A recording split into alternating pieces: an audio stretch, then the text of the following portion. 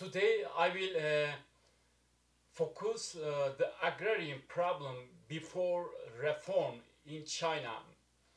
What I will say perhaps uh, reminds you something in your country. I think uh, we need to uh, profoundly analyze this, uh, the development stages and make the necessary changes in the third world agricultural growth. Let me start with Russian economist Magner. After Magner analyzed the Chinese agriculture in 1930s, he had a conclusion on it. He was thinking a drastic surgery was required to eliminate the institutions which prevent the peasant from raising their living standards.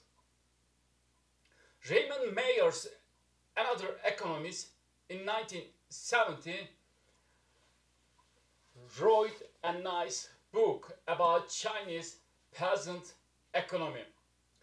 The title of the book, The Chinese Peasant Economy, in between 1890 and 1949. Uh, he stressed two major theoretical approaches to the agrarian problem.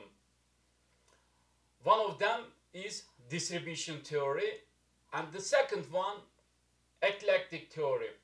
Regarding distribution theory, the large portion of income was taken from peasants in rents, high interest charges, taxes, and unfair terms of price exchange that they were left with, with little surplus to improve or enlarge their farms um, and raise their living standards. But we cannot say the same things for the actors such as landlords, merchants, small industrialists, and so on. Officials uh, made up the social classes with the wealth and power to protect themselves by law and exploit the peasantry in a variety of ways land ownership became unequal and uh, a greater share of the agricultural surplus went to large landlords than to small peasants. Agricultural technology and farming methods remained frozen at the traditional levels and the peasantry became poorer.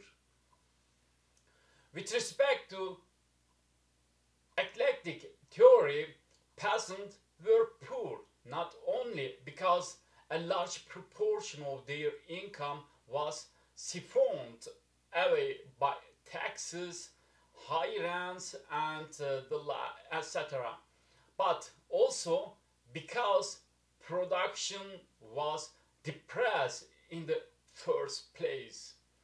This was due to improperly organized farms, poor transport, inadequate government support, and insufficient quantities of basic inputs to elevate yields.